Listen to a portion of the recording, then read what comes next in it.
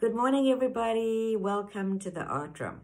So today we are going to, learn about all the colors of the rainbow. And a good way to remember the order of those colors is to remember the boy's name, Roy, G, middle name, Biv, like this.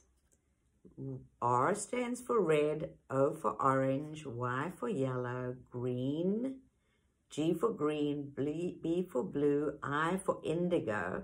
Indigo sort of a midnight dark purplish blue. I love indigo. And violet. So that's your Roy G. Biv.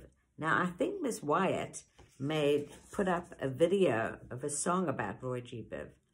But what we're going to do today is make a scavenger hunt for all those colors. So I, this morning, went around the house and found all the different colors in different objects. You might use toys, you might use kitchen tools, you might use bottle caps, See what you can find all around the house. This is what I found.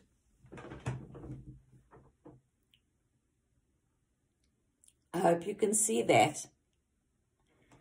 So I'm going to show you what they are. So I have for yellow, a lemon and a lemon squeezer and another lemon squeezer. Orange, I've got an orange, orange cap, orange clip.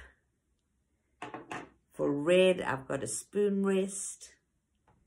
I've got a kitchen brush. And then I've got some pink, because pink is between, in, not in the rainbow, but pink goes between the violet and the red. So I've got a few pinks, scissors and sharpener. And for violet, I have two different spoons, different shades of violet. Blue, I found a spoon and some markers. Indigo, I happen to have this beautiful indigo paint. And for green, I found a spatula and a bottle cap and the top of a knife. So it's pretty easy. That's what I did and put them in a circle. So I'd like you to put them in a circle. And then in the middle of the circle, I would like you to draw a rainbow like this. So here we have the colors, red, orange, yellow, green, blue, indigo, violet. And what you do is you take a piece of paper in a big bowl, as big as you can find in the kitchen, and you make the outside shape of the rainbow. And then you can either get your parents to help you or do it yourself make the rest of the circles over here for the colors.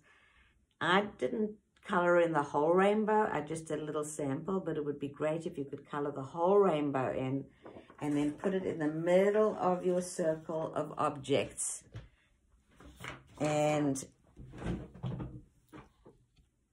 photograph it just like that so I can see how creative and imaginative you've been.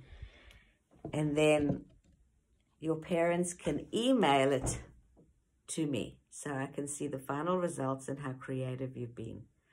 Okay, enjoy yourselves. Have fun. Remember, Roy G. Biv. See you later.